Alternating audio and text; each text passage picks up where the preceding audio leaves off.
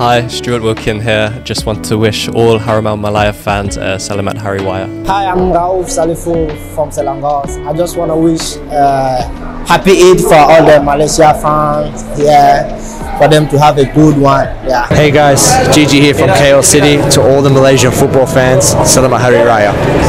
Okay, saya nak mengucapkan selamat Hari Raya Aidilfitri, maaf saya batin kepada seluruh rakyat Malaysia and umat Islam. Sampai raya. Bye bye.